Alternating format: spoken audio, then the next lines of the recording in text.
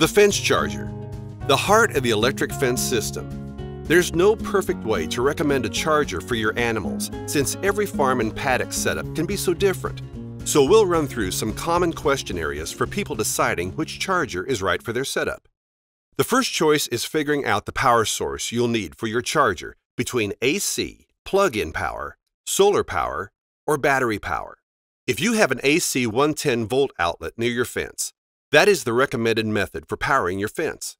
Generally speaking, AC fence chargers provide the best output and range of power for all charger types, and they only require approximately 2 cents of electricity a day.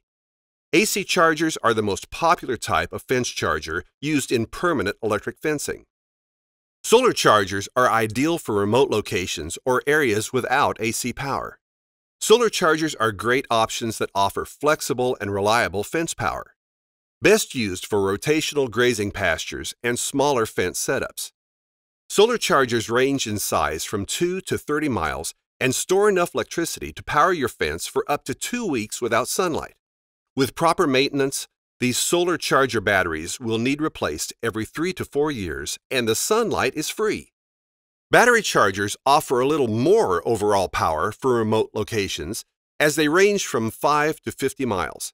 These chargers use either a standard 12 volt, 6 volt, 4 volt, or D cell battery depending on your charger size. And most chargers will perform best using a deep cycle marine battery. The frequency these batteries will need replaced varies depending on how often your fence grounds out. In other words, if animals are touching the fence often, or if weeds or limbs are touching the fence, the battery will drain faster. Monitor the fence with a voltage tester to determine when a new battery is needed. Once you decide on your power source, the next topic is the size of your charger.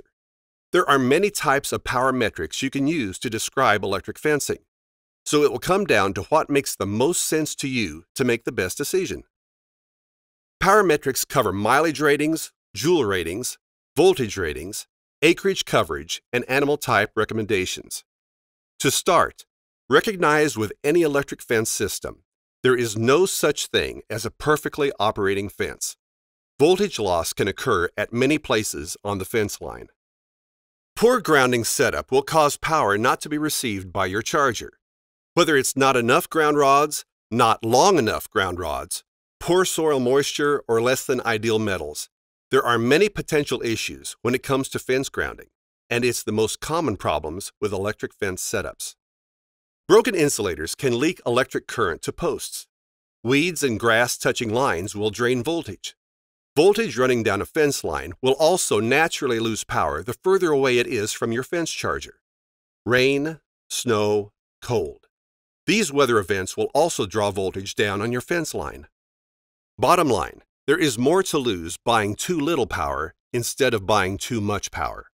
Mileage ratings on chargers are based off the maximum length voltage can be carried down a single fence line to safely contain your animals. Take the amount of fence line you have, include all wires, and then for a minimum power recommendation, at least double that length to ensure you'll have enough power once all of these power draining elements factor into your fence system.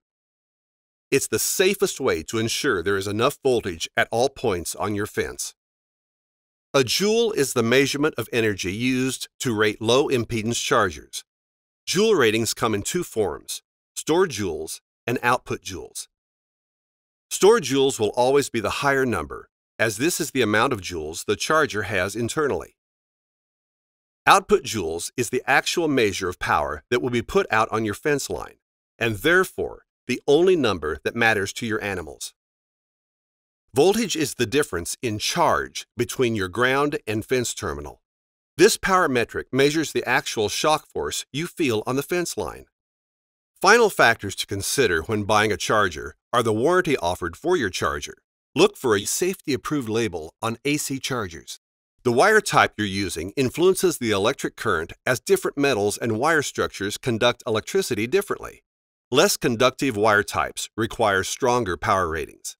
Almost all modern chargers feature low impedance technology.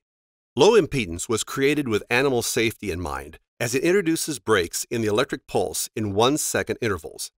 This minimizes the amount of electric contact with the animal, while saving power. Continuous current is the opposite of low impedance, and is a constant electric charge on the line. Hopefully this video has cleared up a few fence charger decisions for you. If you have additional questions, give us a call at 855 592 7322.